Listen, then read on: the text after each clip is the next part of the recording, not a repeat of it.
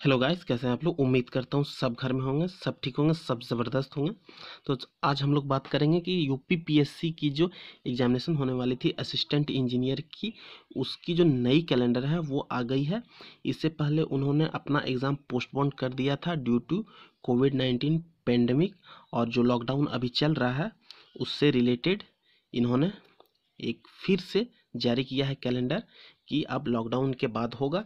और यदि बीच में लॉकडाउन ठीक नहीं होता है। लॉकडाउन नहीं हटता प्रॉपर तरीके से और कोविड नाइन्टीन का जो केस है बढ़ते ही जाएगा तो उस कंडीशन में अलग बात हो सकती है, लेकिन अभी फ़िलहाल देख लेते हैं कि यहाँ पे इन्होंने कैलेंडर जारी कर दिया है। लिंक मैं डिस्क्रिप्शन में दे दे रहा हूँ, वहाँ से आप जैसे क्लिक करिएगा, आप डायरेक्ट इस पेज पर आ जाइएगा।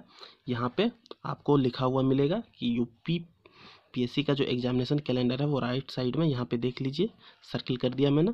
यहाँ पे आप जैसे ही क्लिक करिएगा, आपको एक नया कैलेंडर मिल जाएगा ट्वेंटी ट्वेंटी वन का। अब देख लेते हैं कि इस नया कैलेंडर में हम लोग का क्या खुलेगा, कौन सा डेट आने वाला है, बने रहिए हमारे साथ।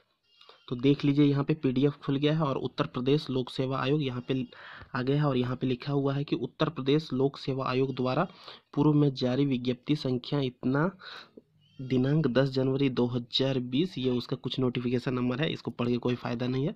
उसके बाद यहाँ पे आप देख लीजिए कि जो डेट है सहायक अभियोजन पदाधिकारी मुख्य परीक्षा, उन सब के बारे में हम लोगों को नहीं जानना है।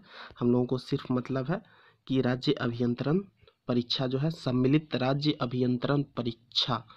यहाँ पे सामान्य चयन, विशेष चयन परीक्षा 2019 जिसकी डेट रखी गई है एक ग्यारह दो हज़ार बीस, यानी कि एक नवंबर 2020 फ़र्स्ट ऑफ़ नवंबर 2020 को डेट है आपका। UP P S C examination का। तो आप लोग यदि लग रहा था आप लोगों को कि एग्ज़ाम होगी, नहीं होगी तो वो डाउट क्लियर कर लीजिए। एग्ज़ामिनेशन लेने के मूड में है उत्तर प्रदेश गवर्नमेंट तो आप लोग यदि तैयारी छोड़ दिए थे तो आप तैयारी फिर से जारी कर दीजिए।